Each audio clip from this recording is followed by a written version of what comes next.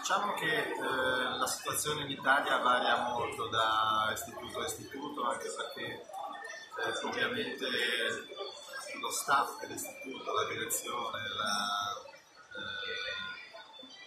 comandante della polizia penitenziaria, i ruoli di dirigenza danno un'impronta diciamo, all'istituto. Poi naturalmente ci sono delle caratteristiche strutturali, sono degli istituti che sono più adatti a svolgere esempio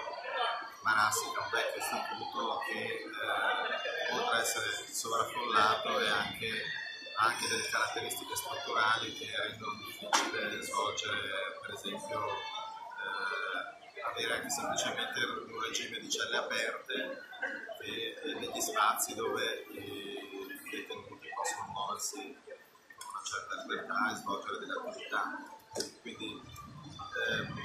Direi che eh, la situazione più, forse più felice in Liguria l'abbiamo proprio a Chiavari, che è un piccolo istituto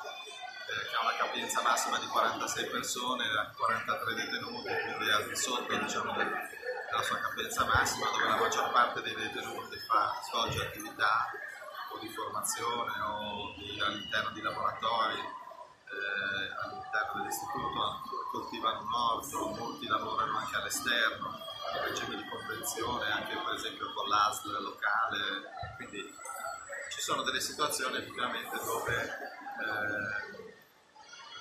siamo eh, particolarmente eh, così,